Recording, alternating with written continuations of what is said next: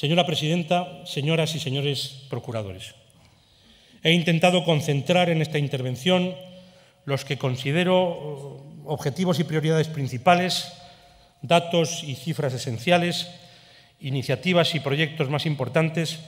que dibujan la situación actual de la comunidad y de su inmediato futuro y que hoy se someten a este debate que celebramos en el Ecuador de la actual legislatura autonómica. Sobre todos ellos vamos, sobre todos ellos queremos seguir insistiendo. También, cómo no, desde la rendición de cuentas y el control parlamentario de la acción de gobierno. Pues quiero recordar a la Cámara que precisamente una de las novedades introducidas por la Ley 3 2016, reguladora del Estatuto del Alto Cargo de la Administración de la Comunidad, es la que obliga a los consejeros de la Junta, una vez finalizado el segundo año de la legislatura, a solicitar eh, su comparecencia ante la correspondiente Comisión de las Cortes para informar del grado de cumplimiento de los objetivos de su departamento para toda ella. En coherencia con el programa de gobierno con el que recibí la investidura de estas Cortes hace ahora dos años, considero vitales las políticas e iniciativas que nos permitan mantener en los próximos esa tendencia de crecimiento de nuestra economía que estamos eh, viviendo ya desde 2014, favoreciendo y facilitando de esta manera todos los esfuerzos que en esta dirección, no lo olvidemos, están realizando las familias y las empresas de la comunidad, nuestros trabajadores, nuestros emprendedores, nuestros autónomos, nuestros empresarios. Solo ese crecimiento estable confirmará, a su vez, la tendencia positiva de creación en Castilla y León de más y de mejor empleo la generación con ello de nuevas oportunidades,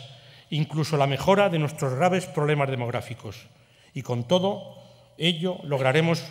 una recuperación que de verdad sea para todos, que llegue a todos, que corrija desigualdades y desequilibrios, que no expulse a nadie y que incluya e integre a todos aquellos que todavía sufren la realidad o el riesgo de la exclusión y de la pobreza derivados de la grave crisis que hemos vivido.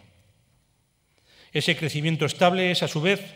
la garantía de los recursos públicos que son y serán imprescindibles para mantener y para mejorar la calidad y la equidad de los grandes servicios públicos de titularidad autonómica,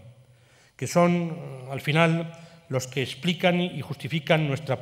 nuestra propia existencia como comunidad, nuestro servicio a ella, nuestro servicio a los castellanos y leoneses algo que también deberemos conseguir con un mayor equilibrio entre los ciudadanos de nuestras ciudades y los de nuestro amplio medio rural, para lo que la culminación de la ordenación territorial se me antoja fundamental para que asegure también a estos últimos la presencia próxima de esos grandes servicios autonómicos, así como la plena autonomía y capacidad de actuar de sus ayuntamientos. Y, señorías, todo ello apostando siempre y esta es desde luego la voluntad y disposición del Gobierno de la comunidad por la vía del diálogo y del acuerdo político, social y civil.